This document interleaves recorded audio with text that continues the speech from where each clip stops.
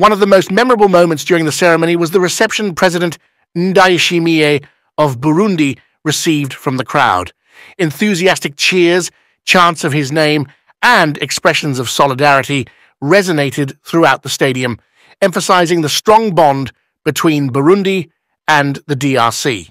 Excellence, Monsieur Évariste Ndayishimiye, président de la République du Burundi.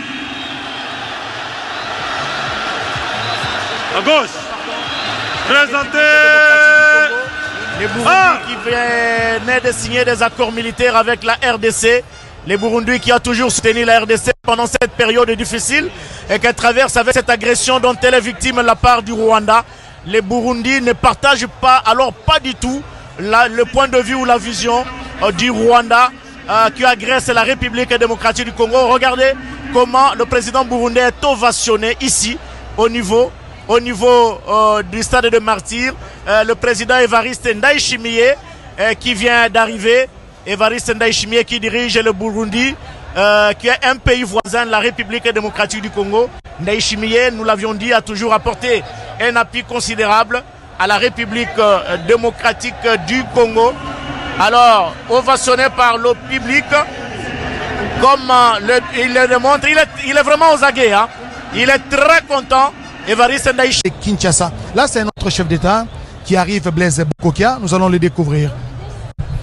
Joscar, Joseph Oscar Nkaïj, pardon, nous assistons à un véritable ballet diplomatique, très chers téléspectateurs.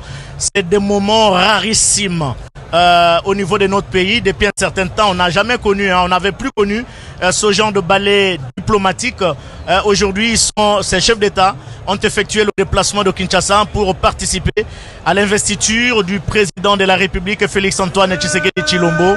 C'est un bon signe ce qui prouve à suffisance que la RDC entretient.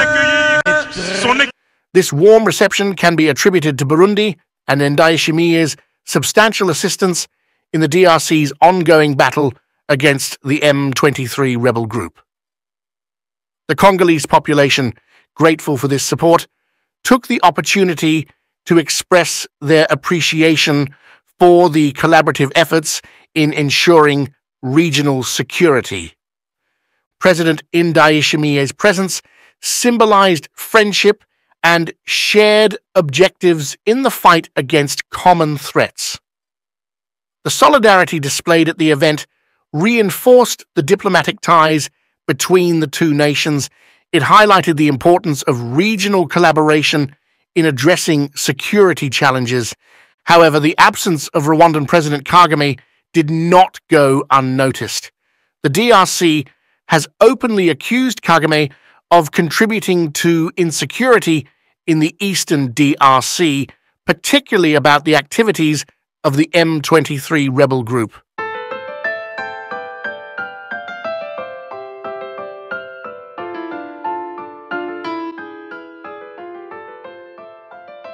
Dr. Congo, Felix Tshisekedi, takes oath in spectacular Stade de Martyrs ceremony, a proud moment for Africa, Tshisekedi's swearing-in ceremony at the Stade de Martyrs.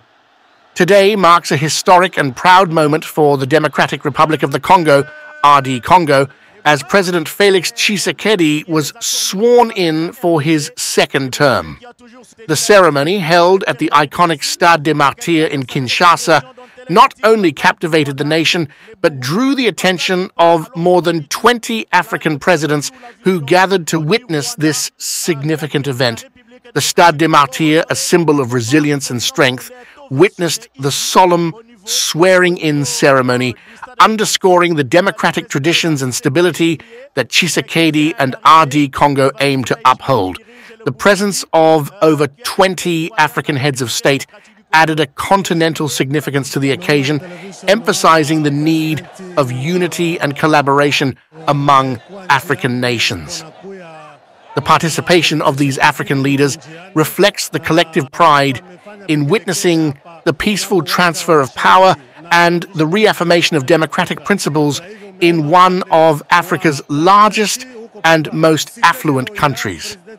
The Stade des Martyrs, filled with an air of celebration and anticipation, echoed the shared aspirations for progress and prosperity across the continent. President Tshisekedi's second term is seen as an opportunity to build on the achievements of his first term and address the challenges facing RD Congo. The diverse representation of African leaders at the swearing in ceremony symbolizes the solidarity and support extended to Tshisekedi as he embarks on another leadership term. The ceremony was not only a testament to RD Congo's commitment to democratic values, but also showcased the rich cultural diversity and vibrant spirit of the African continent.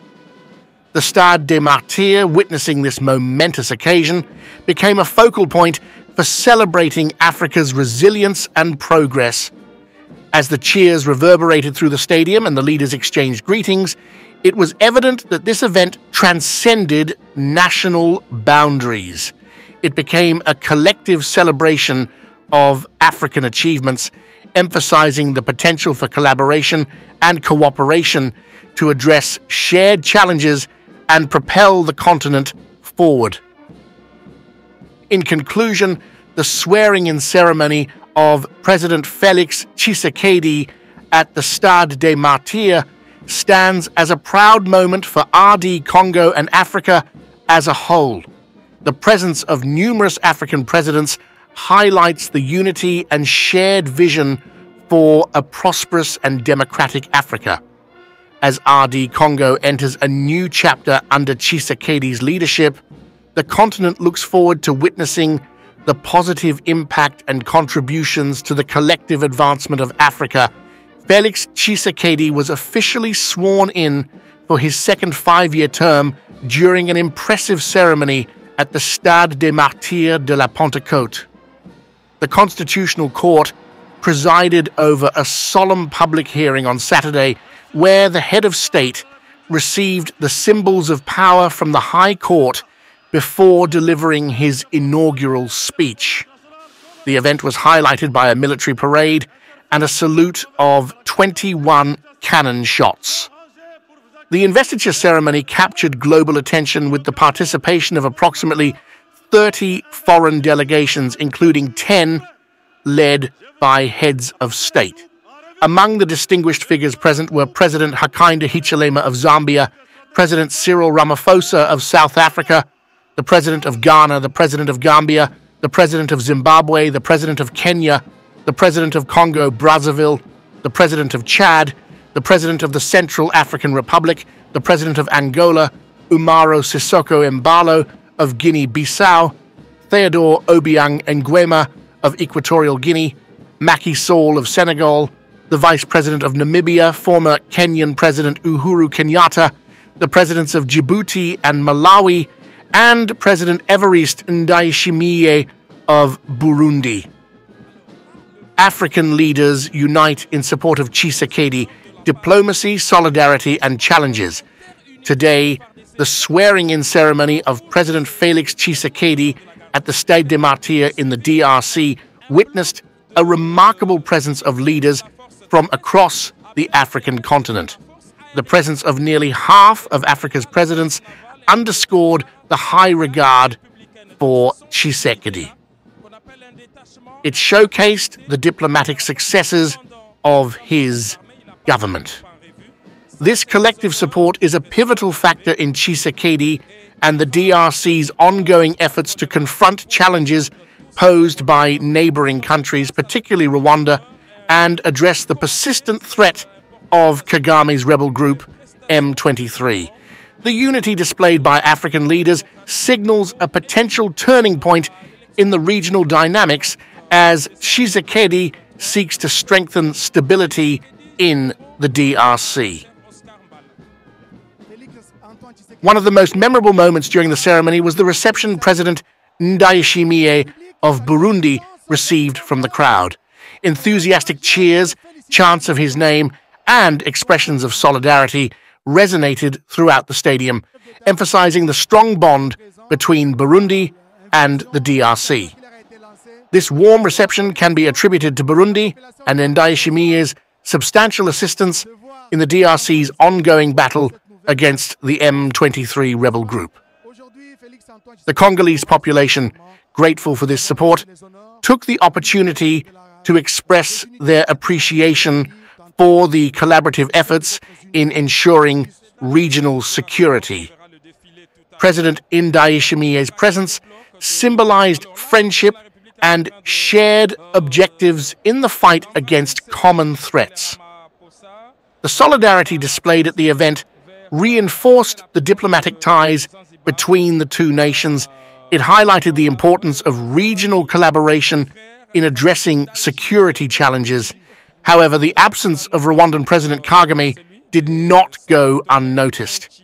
The DRC has openly accused Kagame of contributing to insecurity in the eastern DRC, particularly about the activities of the M23 rebel group. Kagame's non participation in the ceremony raises questions about diplomatic relations between neighboring countries. As Tshisekedi embarks on his second term, the notable support from fellow African leaders offers a potential foundation for regional cooperation and stability. The ceremony's significance extends beyond the symbolic oath taking, serving as a platform for diplomatic discussions and collaboration in addressing shared challenges focusing on the ongoing efforts de Martyrs ceremony, diplomacy, strained relations, and regional dynamics. In a powerful display of strength and national pride, the Stade des Martyrs hosted today's ceremony, attracting over 80,000 enthusiastic Congolese. The event not only marked a significant moment for the Democratic Republic of the Congo, DRC, but also provided an opportunity to showcase the country's size and prosperity. However, for a Rwandan observer, the occasion was tinged with disheartenment, emphasizing the reception accorded to President Ndayishimiye in Kinshasa.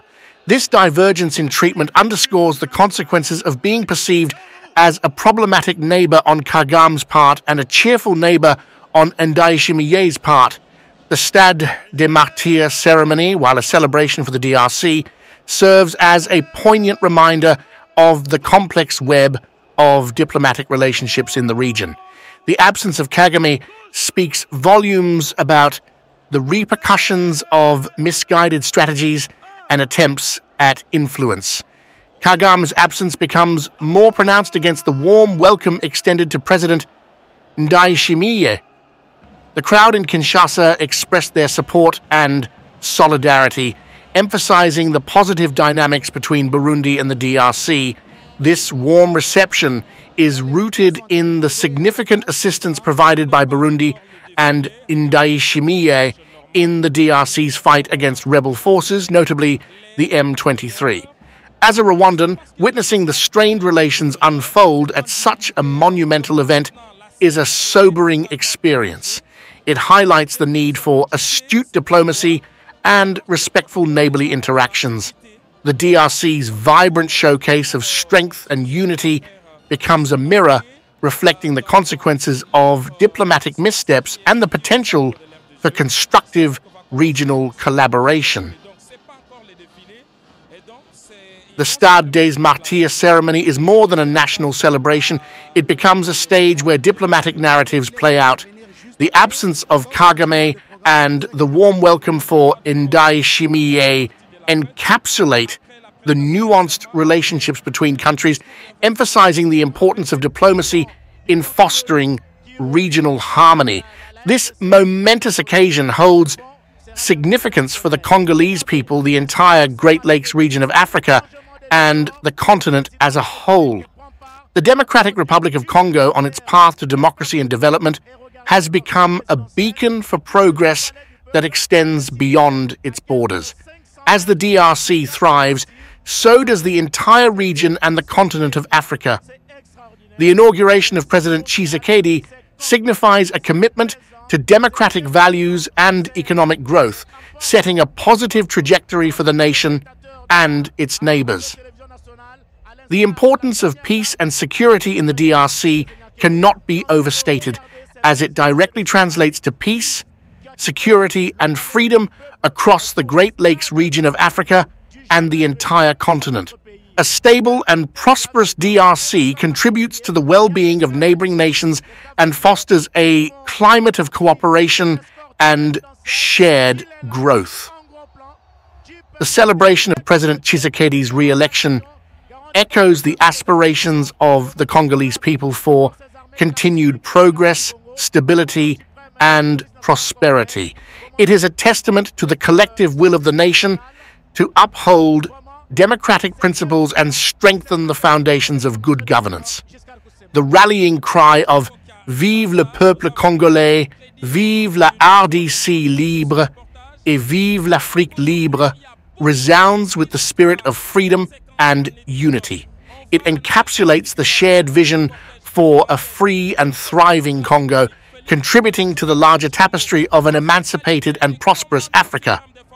As President Tshisekedi embarks on his second term, the hope is that the momentum of development, peace, and democracy will only intensify. The inauguration serves as a symbol of continuity, resilience, and the unwavering commitment to building a good future for the people of the Democratic Republic of Congo and Africa as a continent. William Ruto, président de la République du Kenya, Son Excellence Mahamat Idriss Déby, président de la République du Tchad, Son Excellence Brice Oligui Nguema, président de la République gabonaise. Nous accueillons également Madame Jiska Alupa, vice-présidente de la République d'Ouganda. Son Excellence le Dr Angolo Mbumba, vice-président de la République de Namibie. Son Excellence Madame Shen Yuhe, vice-président du Sénat de la République populaire de Chine. Nous accueillons l'honorable Adama Bitogo, président de l'Assemblée nationale de la République de Côte d'Ivoire. Son Excellence Valdimir Orlik, président de l'Assemblée nationale de Serbie. Monsieur Rachid Talbi El Alami, président de la Chambre des représentants de Sa Majesté le roi Mohamed VI. Docteur Hussein Ali Mouni, président du gouvernement révolutionnaire de Zanzibar, de la République unie de Tanzanie. Monsieur Jacques Ayaki Kwete, ancien président de la République unie du Nigeria. Monsieur Tulishile Diada, Premier ministre du Royaume du Swaziland. Son Excellence Olusegun Obasanjo, ancien président de la République fédérale du Nigeria. Nous accueillons également M. Rajadri Mamkanina Henri, ancien président de Madagascar. Nous accueillons Son Altesse Chakbout Nayan, ministre d'État aux Affaires étrangères des Émirats arabes unis. Nous accueillons M. Lucas Abagan Chana, ministre des Affaires étrangères, représentant de la République de Guinée équatoriale. Son Excellence Dr Pitia Morgan, ministre des Affaires étrangères et de la coopération internationale, représentant du Soudan du Sud. Son Excellence Kagiso Thomas Msi, ministre de la Défense et Sécurité, représentant la République du Botswana. Nous accueillons également M. Scott Nathan, directeur général de la Société américaine de financement et de développement et envoyé spécial du président Joe Biden des États-Unis. Nous accueillons également M. Dollar Amchi de Lord Popat, envoyé spécial de Sa Majesté le Roi de Grande-Bretagne. Madame Anita Vandenberg, secrétaire parlementaire du ministre du Développement international, représentant le Canada. Nous accueillons Monsieur ambassadeur Carlos Sergio Sobral Duarte, secrétaire pour l'Afrique et le Moyen-Orient de la République fédérative du Brésil. Some people may not see success as stretching with cats, but they don't see that I also stretch my money. My secret move is to have a business bank account with QuickBooks Money. It earns me a market leading 5% APY that puts my cash flow in the best position. du groupe de la Banque africaine de développement. l'ambassadeur Bankole Adeoye, commissaire chargé des affaires politiques, paix et sécurité de l'Union africaine. Monsieur Gilberto de Piedade Verissimo, président de la Commission de la Communauté économique de l'Afrique centrale. Et enfin, Monsieur Mbela Mbela, ministre des Relations extérieures de la République du Cameroun. Excellence, Monsieur le Président de la République, chef de l'État, avec l'expression de nos hommages les plus déférents. Excellences, Messieurs les chefs d'État et de gouvernement, Mesdames et Messieurs les chefs de délégation, distinguées Premières Dames, honorables invités, Mesdames et Messieurs, chers compatriotes, bienvenue à Kinshasa, capitale de la République démocratique du Congo, et plus particulièrement au stade des martyrs de la Pentecôte. Les Quinois sont fiers et heureux de vous accueillir et souhaitent à toutes et à tous un excellent séjour dans notre belle capitale à l'occasion de l'investiture de son Excellence Félix Antoine Tshisekedi Chilombo, président de la République, chef de l'État. Cette cérémonie revêt pour nous, Congolais, une saveur toute particulière, tenant tant au nombre qu'à la qualité de ses invités et participants. Cette cérémonie nous offre aussi, à nous, Congolais, l'occasion de réitérer notre attachement à celui qui présidera aux destinées de notre cher et beau pays pour les cinq prochaines années. Excellence, Monsieur le Président de la République, chef de l'État, Excellences, Messieurs les chefs d'État et de gouvernement, Mesdames et Messieurs, distingués invités, honorables invités, chers compatriotes, l'investiture d'un président de la République est un événement très éclairant et spécifique de la vie politique et démocratique dans notre pays. Cet événement survient systématiquement après la fin de la campagne pour l'élection présidentielle consacrant la victoire d'un candidat. L'investiture officielle du chef de l'État est un rite de création qui, à la manière d'un symbole puissant, assure et matérialise la continuité du pouvoir républicain au-delà des clivages politiques. Le rite de création constitue un invariant anthropologique à l'échelle de l'histoire de l'humanité, puisqu'à toutes les époques, les hommes ont ressenti le besoin de recourir à des dispositifs mettant en évidence la stabilité d'un État et un certain sens du décorum. Les rituels constituent des dispositifs sociaux dans lesquels il y a création d'ordre et de hiérarchie par le biais d'une action sociale commune et qui produit du sens. Aujourd'hui, en ce jour si chargé d'histoire et de symboles, le peuple congolais, dans son infinie diversité, s'honore de pouvoir confier son destin à celui qu'il vient de porter à la magistrature suprême pour la deuxième fois consécutive. Fort d'une vision globale qu'il aura à cœur de consolider à travers ses précieux acquis de son premier mandat. Une ère nouvelle s'ouvre pour la République démocratique du Congo et son peuple. Une page inédite se tourne dans son narratif à la faveur d'un nouveau serment dont nous sommes aujourd'hui les témoins privilégiés. À présent, je vais donc demander au protocole d'État de pouvoir procéder à l'ouverture solennelle de la cérémonie d'investiture du président de la République. Je vous remercie.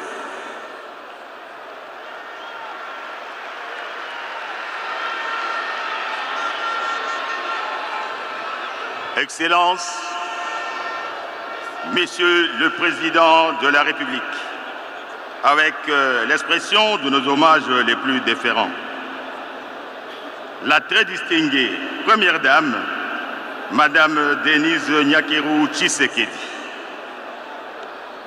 Leurs Excellences, Messieurs les chefs d'État, avec euh, l'expression de nos hommages les plus déférents. Mesdames et Messieurs, les chefs des délégations étrangères, avec euh, l'expression de nos hommages très distingués.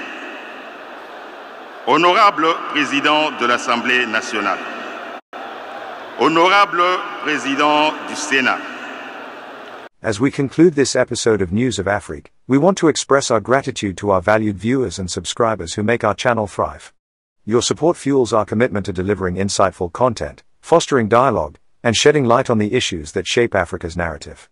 If you found this video informative and engaging, please remember to like, share, and subscribe to News of Afrique to stay connected with our ongoing coverage. Your participation in this journey means the world to us. Until next time, stay informed, inspired, and connected with Africa's heartbeat. Thank you for being part of our community.